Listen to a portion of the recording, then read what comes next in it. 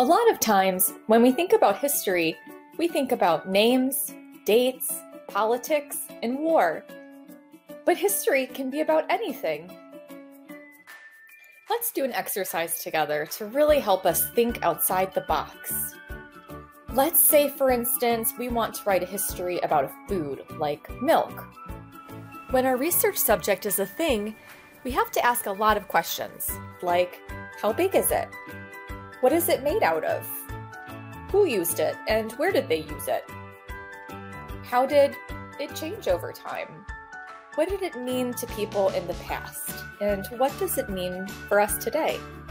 Objects are loaded with meaning because of how we interact with them.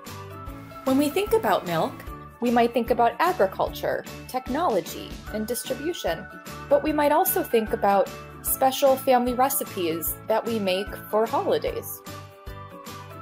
If you choose a subject that's too broad, the research process can become overwhelming. That's why we recommend choosing a specific object as your subject, like a specific variety of milk from a historic dairy farm.